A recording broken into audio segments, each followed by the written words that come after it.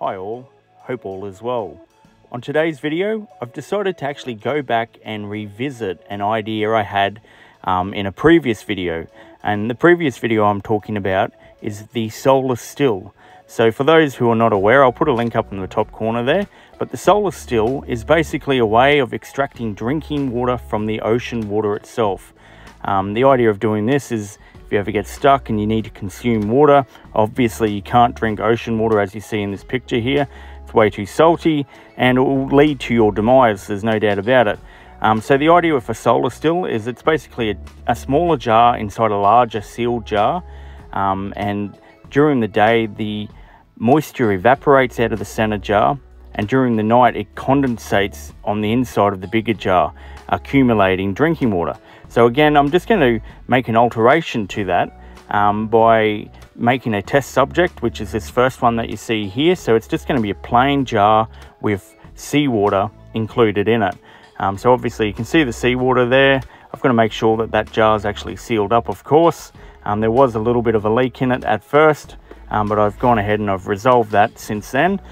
And once resolving the leak, I don't want to um, have any ocean water leak into the bigger jar. So it was important that I resolve the leak. Um, so once the leak was resolved, it was just a matter of actually placing that jar. It's, it's actually a pickle jar, believe it or not, which is why it looks so strange. But there's a good reason why I wanted to use pickle jars. Um, so as you can see here, I've just gone ahead and placed it inside the bigger jar, exactly like I did in the previous movie um, the previous video I did in regards to the solar dis distillation. Now the previous video, it was actually successful. I was able to actually get drinking water from ocean water through this process. So I know for a fact that it is successful. Um, what the aim of this video is, is to try and improve on those results.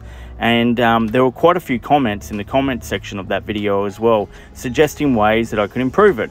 However, I've decided to come up with a concept of my own, um, and it's using charcoal um, as a way to soak up the evaporation and um, separate it basically into the upper chamber of the pickle jar. Now, there were quite a few suggestions um, suggesting that I add um, something black to the inner jar to try and improve the efficiencies. There was also suggestions that I should perhaps add a piece of felt um, to the water as well to help speed up the process. Um, and they were fantastic ideas, and I aim to actually um, try and have a crack at performing those experiments as well using some of those ideas. However, for this one, I just wanted to use my own concept. So again, I've just got myself another pickle jar, except this time, instead of removing that stainless steel strainer there, I'm actually going to include that charcoal that I got out of my fire that I um, got out of my fireplace. I'm actually going to crush it, um, not too smallly, of course. I just want to um, be able to put it in there. And the idea is, so when the water evaporates in this pickle jar, um, it will basically soak up into the charcoal. And then during the day, it should heat up. Um, and the idea is so that um, it should speed up the evaporation process. Um, it will be interesting to see if it yields any better results though, because obviously um, during the day with both pickle jars, the one without the charcoal and the one with the charcoal. They'll have exactly the same amount of sunlight each during the day, so they'll both have a fair chance, an equal chance to actually charge up. Um, I don't think the biggest issue is actually um, the evaporation process. I believe the biggest issue um, comes down to the recollection process. Um, so to improve the results, I may need to actually put a floor in these jars and perhaps put a tap into them as well and remove the fluid that's created each day to save that fluid from re-evaporating. But like I was saying, it has been quite some time since I've updated this procedure um, and it was a fantastic opportunity to do it. I finally got the time to actually get around to doing it. Um, so it will be very interesting now. Unfortunately, there will be no results in this video itself. Uh, those results will come I'm guessing I'll leave it for three days is the idea. So basically I'll leave the jars to recharge for three full days and to recondensate for three full days.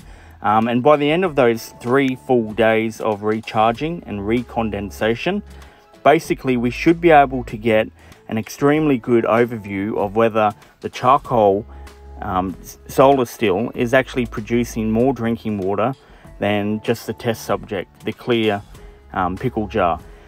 Um, I look forward to seeing the results. It looks fantastic. There's no doubt about it. Um, I'm hoping the charcoal one helps to improve the yield, um, but like all things, only time will tell.